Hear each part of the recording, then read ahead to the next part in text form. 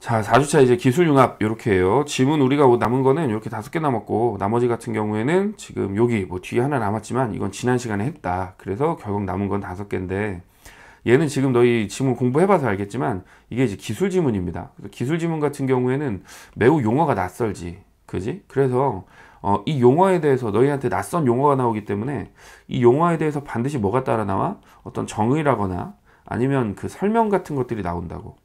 근데 우리가 이 글을 처음 본다 그러면 방금 말했던 이 기술 지문과 관련된 용어들이 막 엄청 많이 나오지. 용어 뭐 1, 뭐 2, 뭐 3, 4, 5 이렇게 나오면 얘에 대한 설명, 얘에 대한 설명, 얘에 대한 설명, 설명, 설명 고려해서 이거랑 이걸 물어보거나 연결해서 막 어떤 개념을 이해하고 이런 식으로 접근해야 되는데 너희는 이 글을 공부한 다음에 시험을 볼 거잖아. 그러니까 공부 자체도 어때야 되냐면 어떤 용어가 나오면 그 용어에 대한 정의 자체는 그냥 너희 머릿속에 있어야 돼요.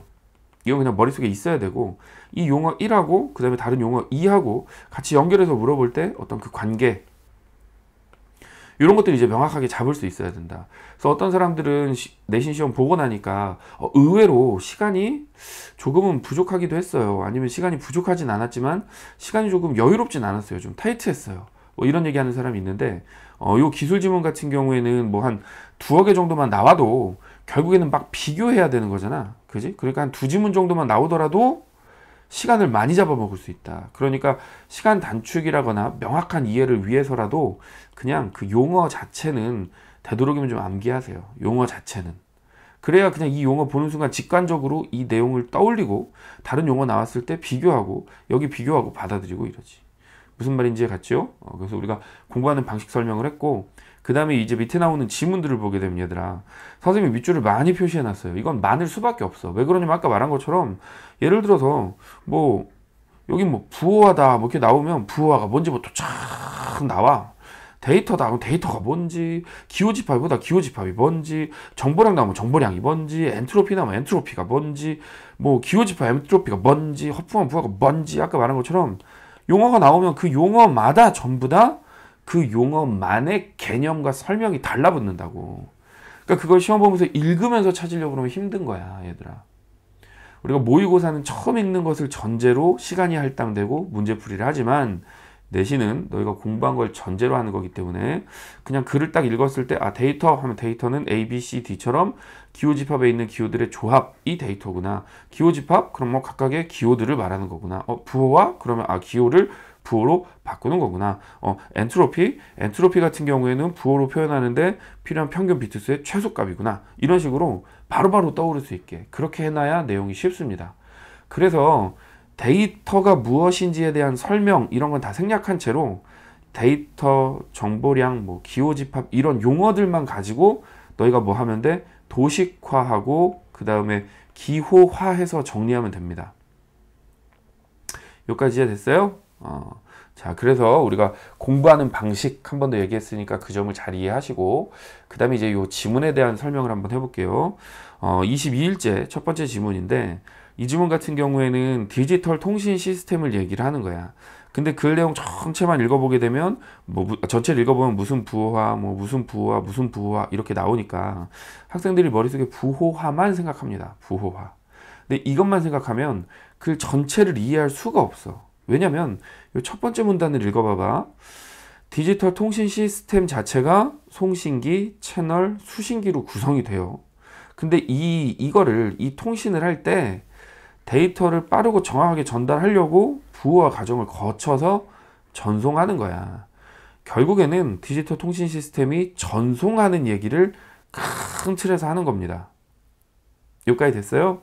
그래서 뒤에 또 나오기 때문에 선생님이 여기 송신기, 채널, 수신기 이걸 표시하지 않았지만 실제로 이 글의 전체 흐름은 송신기에서 이렇게 3단계에 이르는 부호와 가정이 일어나고 그 다음에 이것이 채널이라는 것을 타고 전송을 하는데 그때 선부호화라는 것을 거쳐서 최종적으로 어떻게 된다고 송신 아, 수신기로 간다고 그래서 수신기에서 기호로 복원된다고. 여기까지 됐을까요? 그래서 큰 흐름은 결국에는 이 구성에 따라서 얘네들에서 각각 어떤 부호화 과정과 관련이 있느냐를 얘기하는 거기 때문에 부호화만 머릿속에 넣어놓지 마시고 디지털 통신 시스템 그리고 요 세 개 이 기준을 잘 잡아야 됩니다. 자, 그럼 이제 설명했어. 자, 여기까진 얘기했으니까 이쪽으로 넘어갈게요.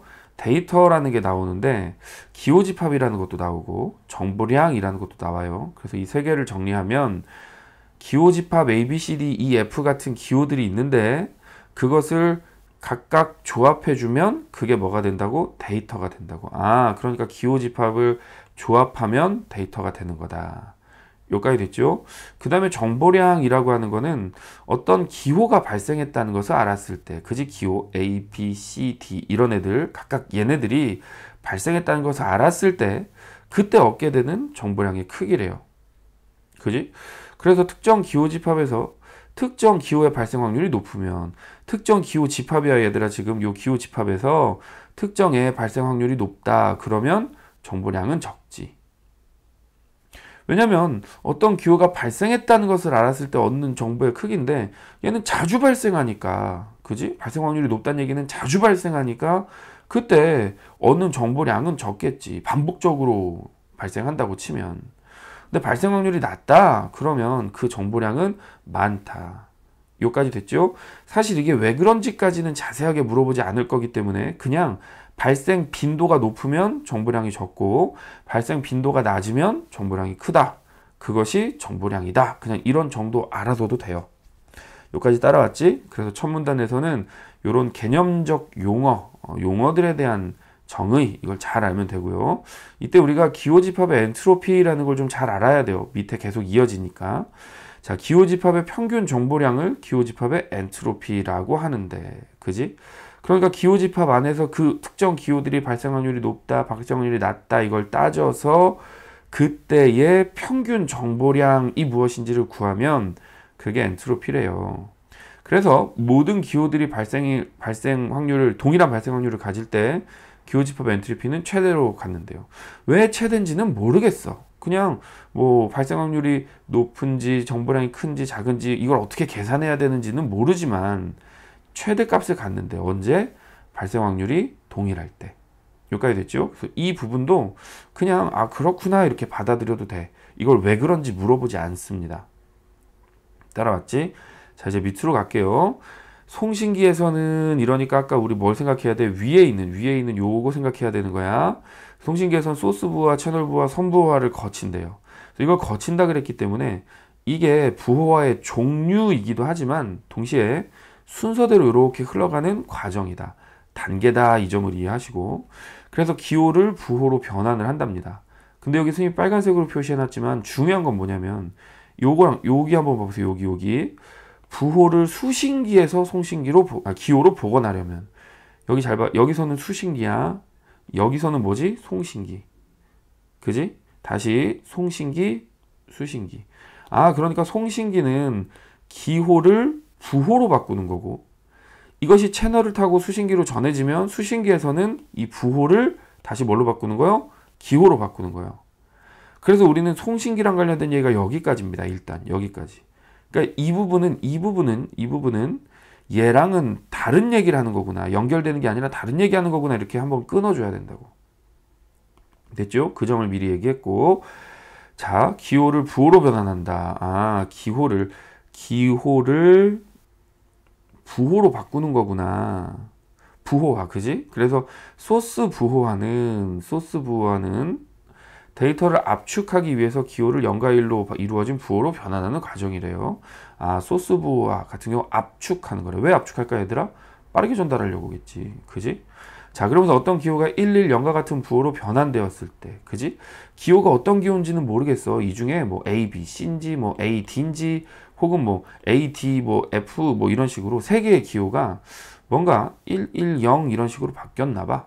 여기까지 됐죠? 어. 아, 아니다. 미안. 두 개의 기호겠죠. 뭐 1, 1, 0 이렇게 하니까. 아, 두 개인지 세 개인지도 몰라 사실 어찌 됐건. 어, 우린 이 기술에 대한 다른 배경 지식을 얻고 있지 않으니까. 자, 그래서 어떤 기호가 혹은 뭐 요기 녀석들 중에 있는 몇 개가 1, 1, 0과 같은 부호로 변환됐대요. 이때 0 또는 1을 비트라고 하고 이 부호의 비트 수는 3이래요. 아, 이 자릿수가 비트 수를 말하는 거구나. 여기까지 됐지? 선생님이 비트수 표시 안 해놨으니까 비트수 표시할게요. 비트수. 자, 이때 기호집합의 엔트로피는, 기호집합의 엔트로피는 기호집합에 있는 기호를 부호로 표현하는 데 필요한 평균 비트수의 최소값. 그지? 기호 집합 요 녀석들 집합이니까 이만큼이겠지? 이 녀석들을 이 녀석들을 여기 우리 있는 것처럼 어 기호 부호로 표현하는데 여기 나와 있는 것처럼 뭐 1, 1, 0이든 뭐든 이걸로 표현하는데 필요한 비트 수. 그러니까 이게 세 자리냐, 뭐 네 자리냐, 다섯 자리냐, 뭐 이런 걸 말하는 거겠죠. 그거의 최소값이다. 그래서 부호를 수신기에서 어디 갔지? 어, 지금 또 시리 때문에 시리 잠깐만 어, 시리 띠링하고 안 됐지. 자 다시 어, 전송된 부호를 수신기에서 원래 기호로 복원하려면 이번에는 아까 구분해 줬죠. 부호를 뭘로 기호로 복원하는 거예요. 기호로 다시 바꾸는 거야. 그러려면 평균 비트 수가 기호 집합의 엔트로피보다 크거나 같아야 한대요. 여기까지 됐을까? 왜냐면 엔트로피는 최소값이니까 최소값이니까 그래서 기호 집합 평균 비트 수가 부호들의 평균 비트 수가 기호 집합의 엔트로피보다 크거나 같아야 한다. 여기까지 됐죠? 자, 그래서 이렇게 분명히 크거나 같은데, 크거나 같은 애들인데, 이런 애들을 가지고 어떻게 하는 거요? 기호 집합의 엔트로피 정, 엔트로피로 바꿔주는 거라고. 됐죠? 그래서 기호 집합을 엔트로피에 최대한 가까운 평균 비트수를 갖는 부호들로 변환하는 것을 엔트로피 부호화라고 한대요. 엔트로피 부호화. 여기까지 됐지? 그러니까 소스 부호화 중에 엔트로피 부호화라는 게 있는 거야, 얘들아. 여기까지 이해 갔지? 자, 그래서 다시 한번 엔트로피 부호화를 정리하면 결국 부호들의 평균 비트수가 엔트로피 부호보다 커요. 그래서 그 엔트로피 부호라는 것으로 압축하는 거지. 왜 압축한다고 할 수 있는 거요? 이 엔트로피 부호화라고 하는 것은 여기 부호들의 평균 비트 수가 아 여기다 기호를 부호로 표현하는데 필요한 평균 비트 수의 최소값이 엔트로피니까 그 최소값으로 부호화하는 거니까. 그래서 기호 집합의 엔트로피 최대값 최대한 가까운 평균 비트 수를 갖는 부호들로 변환하는 것. 이 말이 결국 뭐 하는 거요? 압축하는 거라고. 됐지? 그래서 이런 엔트로피 부호화 중에 허프만 부호화에서는 발생 확률이 높은 기호에는 비트 수가 적은 부호를 그지? 근데 발생 확률이 낮은 기호에는 비트 수가 많은 부호를 할당한대요. 그지? 비트 수가 적어야 빠르게 처리되고 비트 수가 많으면 느리게 처리되니까 많이 사용되는 애는 비트 수를 적게 할당하는 거겠지. 여기까지 됐죠? 그러니까 예를 들어서 발생 확률이 높은 애는 비트 수가 3이라면 어, 발생 확률이 낮은 기호는 최소한 비투수가 4 이상 정도, 즉 4자리 이상 정도 돼야 되겠지. 여기까지 따라왔죠. 자, 그렇게 해서 소스 부호화는 어, 그 중에 엔트로피 부호화라는 것을 통해서, 특히 허프만 부호화라는 것을 통해서 데이터를 압축한다. 압축하니까 빠르게 전달될 것이다. 전송될 것이다. 됐지? 자, 그 다음에 그 밑으로 갈게요. 밑으로 가게 되면 채널 부호화 얘기인데, 어, 채널 부호화는 오류를 검출하고 정정하기 위해서 부호, 부호의 잉여적 정보를 추가하는 과정이다. 아, 그러니까 다시 첫 번째 줄로 가보세요. 데이터를 빠르고 정확하게 전달하기 위해서 부호화 과정을 거친다 그랬는데 이때 채널 부호화는 뭐 하는 거예요? 오류를 검출하고 정정하기 위한 거기 때문에 어떻게 전달하기 위한 과정? 정확하게 전달하는 거라고 보면 돼요. 그래서 기본적으로 부호가 있는데 거기에 잉여 정보를 추가한답니다. 자, 그래서 송신기에서 부호를 전송하면 그럼 여기서 잘 이해해야 돼. 송신기에서 부호를 전송한다는 얘기는 이 과정을 거쳤다는 얘기입니다. 그래서 전송하면 채널의 잡음으로 인해 오류가 발생한대. 오류가, 오류가. 이때 이 문제를 해결하기 위해서 잉여 정보를 덧붙인다는 거지. 다시 한번 오류가 발생한다는 얘기는 정확도가 떨어진다는 얘기예요. 정확도가. 그러니까 이 문제를 해결한다는 얘기는 정확성을 높인다는 거지. 그래서 이렇게 연결된다고. 됐지? 자, 계속 잉여 정보를 덧붙이는 것. 채널 부호화 중 하나인 3중 반복 부호화가 있대요. 이거는 0과 1을 각각 000, 111로 부호화한답니다. 그러니까 0 자체를 000, 1을 111 이렇게 세 자리로 만든다는 거지. 여기까지 됐죠? 그러니까 만약 이쪽에 있는 이 110이라고 하는 애를 3중 부호화 한다는 얘기는 3중으로 만든다는 얘기야. 여기서 1이니까 111, 또 1이니까 111. 그 다음에 여기 빵이니까 빵빵빵 뭐 이렇게 가져간다는 거겠지. 자, 이때 수신기에서는 수신한 부호의 0이 과반수인 경우에는 0으로 판단하고 1이 과반수인 경우에는 1로 판단한다. 그지? 우리 방금 봤던 것처럼 뭐 예를 들어서 여기 1, 1, 1, 1, 1, 1, 0, 0, 0 이렇게 3중 부호했는데 채널을 타고 전달되는 과정에서 잡음 때문에 오류가 발생했어. 그래서 얘가 1, 0, 1, 1, 0, 1, 0, 1, 0 이렇게 됐어도 여기 세 자리에서 1이 두 개잖아? 그러니까 1로 처리하고 여기도 1이 두 개잖아? 1로 처리하고 여기 0이 두 개지? 0으로 처리한다는 거지. 그래서 0, 0, 아, 1, 0, 1, 1, 0 이게 올바르게 전달된다는 겁니다. 오류가 나지 않고 이해됐을까요?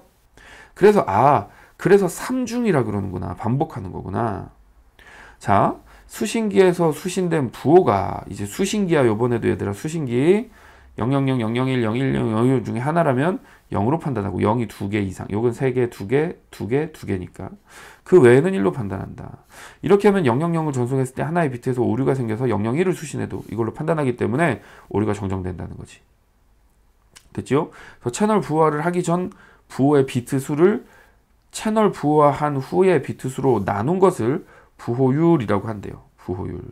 그래서 3중 반복 부호화의 부호율은 0.33이래. 왜냐면 3중일 테니까. 3중일 테니까.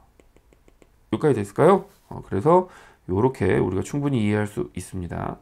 자, 그 다음에 채널 부호화를 거친 부호들은 채널을 통해 전송하려면 부호들을 전기 신호로 변환해야 된다. 그지? 어, 그러니까 다, 다시 한번 우리가 여기에서 이쪽으로 전달을 하려고 그래. 근데 이 전달은 어떤 채널을 타고 전달을 하나 봐.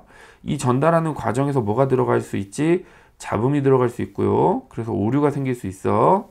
그래서 여기 송신기에서는 무슨 과정을 거치는 거고 송신기에서 어, 맨 처음에 아까 뭐였었지 얘들아? 그거 어, 맨 처음에 맨 처음 아 지워져 버렸네. 어, 소스 부호화를 하고요.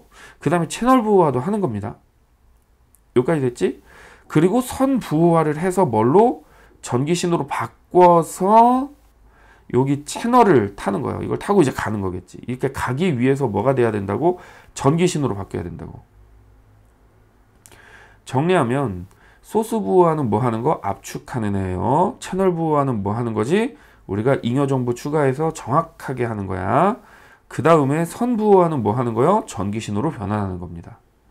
그래서 요 과정을 거쳐서 결국에는 최종적으로 부호로 변환을 하면서 아니지 사실 여기까지가 부호로 변환하는 거겠지 그지 부호로 변환하고 그 다음엔 송신기로 아, 수, 그 수신기로 쏘는 거겠지 됐죠 자, 그래서 어, 여기 부호들을 전기 신호로 변환해야 한다.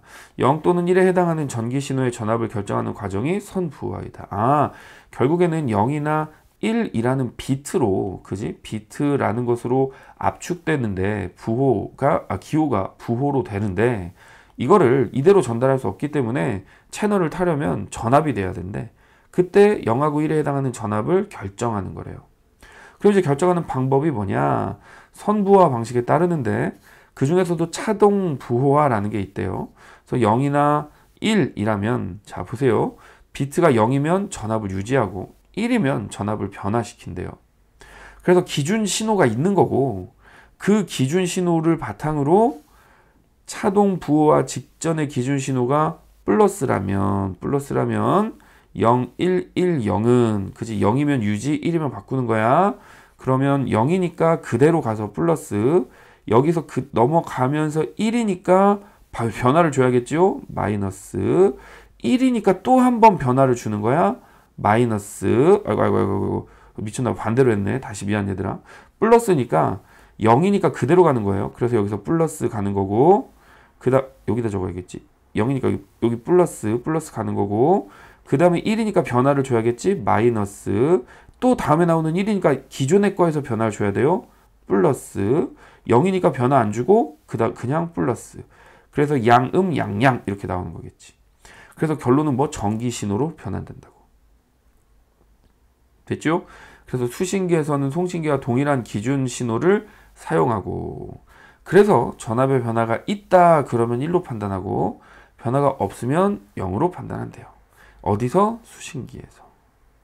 여기까지 됐지? 어, 자, 그래서 우리가 요, 요 디지털 통신 시스템 그 속에서 부호화 얘기했고요. 큰 틀의 흐름에서 어떻게 접근해야 되는지까지도 강조했기 때문에 막 정신없이 전개되진 않을 거야. 다만 오늘 하는 지문 중에 문제가 나오면 아마도 얘가 가장 어렵지 않을까. 문제 풀 때 제일 까다롭게 나오지 않을까. 그렇게 생각이 들어요. 참고하도록 하시고요. 자, 그럼 다음 지문으로 넘어가도록 할게요.